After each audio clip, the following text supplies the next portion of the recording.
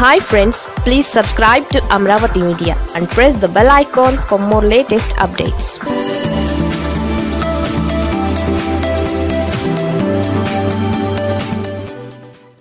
YCP MP ఆల్టిమేటంతో Tollywood పెద్దల ఇరకాటం.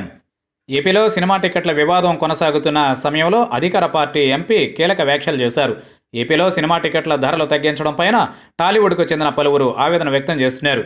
పరోక్షంగా AP ప్రభుత్వం పైన విమర్శలు చేస్తున్నారు. అందులో భాగంగా తాజాగా యువ హీరో నాని టికెట్ల రేట్లు తగ్గించడం అంటే ప్రేక్షకులను అవమానించడమేనంటూ వ్యాఖ్యానించారు. మరో యువ హీరో నిఖిల్ సైతం ఇదే అంశాన్ని ప్రస్తావించారు. ఇక చిరంజీవి లాంటి వారు ట్వీట్ల ద్వారా టికెట్ల సమస్యను పరిష్కరించాలని కోరుతున్నారు.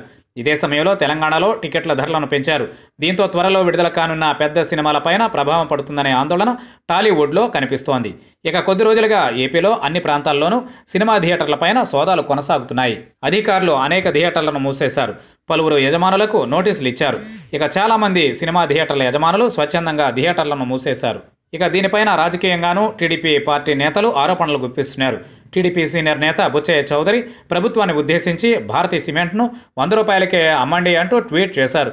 ఇప్పుడు వైసీపీ రాజమండ్రి ఎంపీ లోక్సభలో వైసీపీ విప్ మార్గాని భరత్ కీలక వ్యాఖ్యలు చేశారు.